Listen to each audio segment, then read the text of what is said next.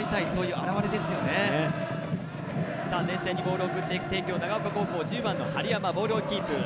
しかし6番の平道。ディフェンスに入っていきます。中に上がっていくのは10番の針山そして14番の谷田。7番の田中がボールを持ってシュート！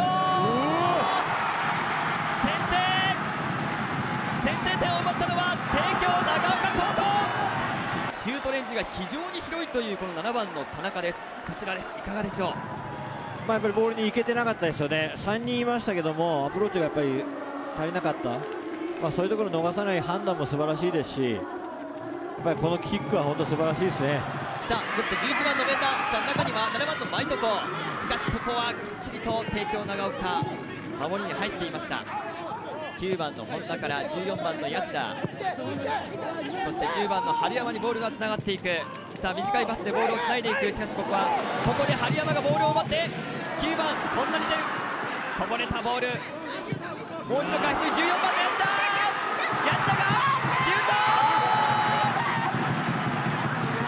追加点を決めました。帝京長岡高校14番キャプテンの谷田が決めていきました。いいです。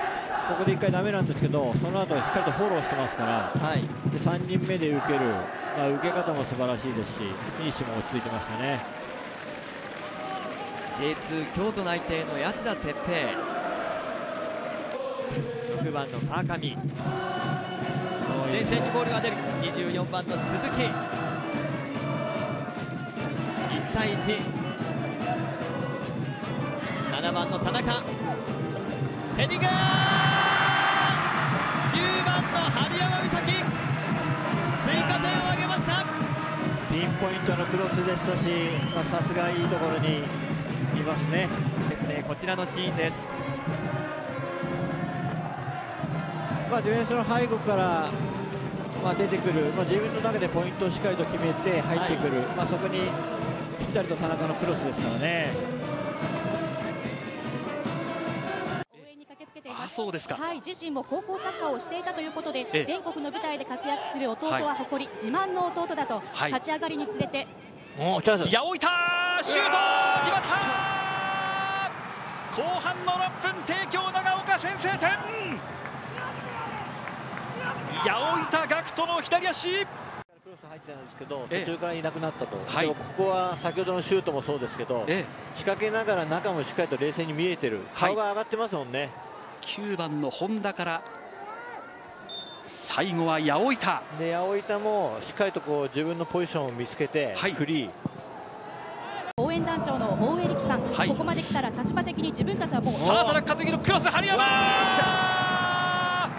後半の15分帝京長岡高校追加点。いやいいボールが入りましたし、まあ、昨日と同じヘディングでしたね春山ね。まあ、帝京長岡の今の攻撃は。手前5番の丸山には合わない。後ろから24番の内から打ち切れるか？打ち切りました。決まりました最後押し込んだのはこの選手抱きついて喜んでいます。川上じゃないです。か川上ですか？このシーンです。丸山が潰れて最後川上が押し込みました。6番。さあ3点を追いかける神戸弘陵です。縦にボールは入れさせませんがもう一度セカンドを拾った6番の川上。中に入ってくる鈴木が入ってくる。ファーサイド春山！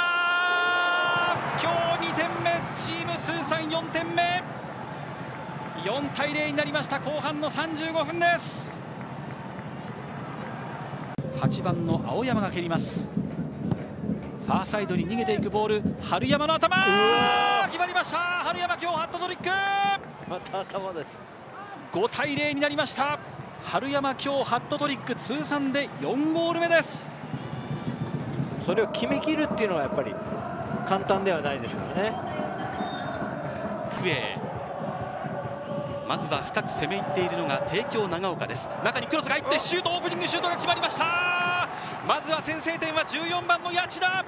前半の1分を迎える前に今大会谷内田が2ゴール目を決めました。仙台育英ディフェンスラインがそのゴールラインを割ったということで少し止まってしまったんですよね。はい、どうなんでしょうね。ちょっとギリギリですもんね。あ逃しませんでしたね。しっかりと集中して、ええ、ゴールしましたね。J2 京都内定の谷地田哲平2試合ぶりの得点を挙げました。今大会2ゴール目。一瞬の隙といいますか絶対これを外さないというのを決めてきましたよね。そうですね。